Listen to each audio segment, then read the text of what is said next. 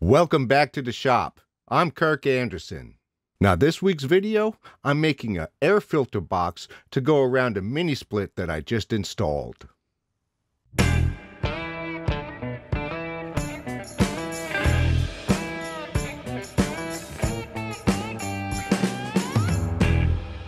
Now I'll be making this filter box out of 2x4s.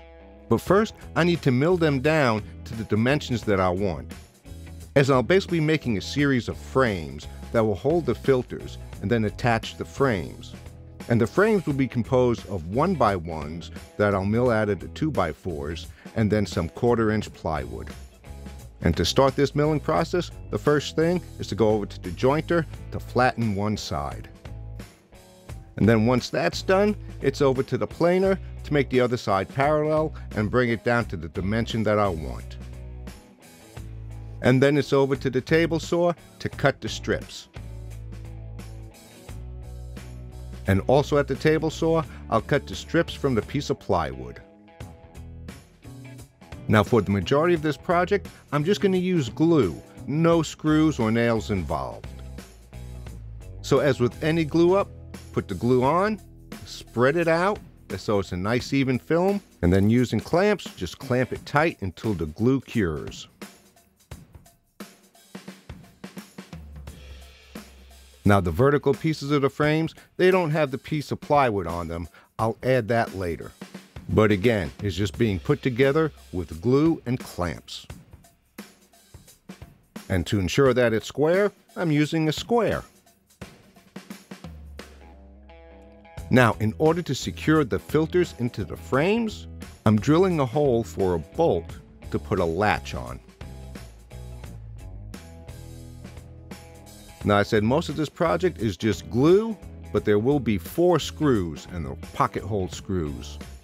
And this is on the cross pieces that will attach to two smaller frames. Again, make sure it's nice and square and then apply clamp pressure before you drive the pocket hole screw in.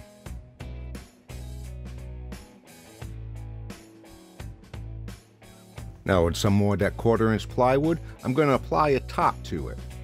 Again, I'm just going to use glue and clamp it down nice and tight.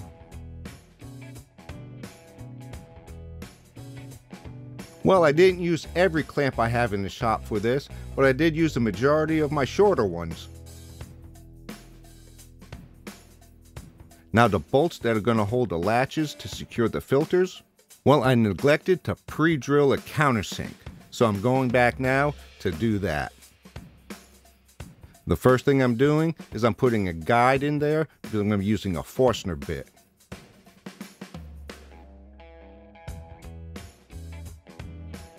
And now to secure the bolts in there, I'm going to put a little epoxy on them and then tap them in. And that should hold them the bolts aren't really going to be holding that much pressure. I just don't want them to be free moving. So a little epoxy fits the bill for that. Now the front of the box is going to be on hinges, that's so I can open it up and access the unit.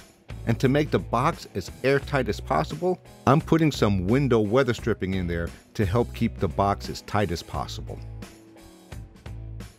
Now to attach the hinges on the front frame, I just pre-drilled and with most small hardware like this that has small screws, I'll put a dab of CA glue on there and then drive the screws in. Now the way the box is designed, the bottom is open. I'm going to glue a piece of plywood onto the front to close up the bottom. Again, this will be attached just with glue and clamp pressure. Now the bottom piece that's on the front frame, well the back of it doesn't go all the way to the unit. So there's gaps. Now in order to fill that gap, I'm going to glue some foam to the bottom piece. I'm going to use contact cement for this. Now this particular contact cement is actually designed for leather. It's a little bit thinner than the contact cement that you get like at the big box stores, but I tell you what, it works fantastic. Just press it on there a little bit and that foam is not going anywhere. Now it's time to attach the front frame to the base.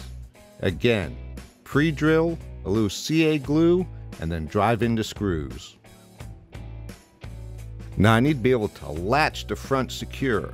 So I'm going to put a latch on there again, pre-drill, a little CA glue, and drive the screws in. And I'm sounding like a broken record. Now to make the latches to hold the filters in, it's just a small piece of wood, drill a quarter inch hole in there to go over the bolt, and I'm also putting a piece of that window weather stripping on there that will secure the filter in there nice and tight. And to secure the latch, just a washer and then a wing nut and tighten it down.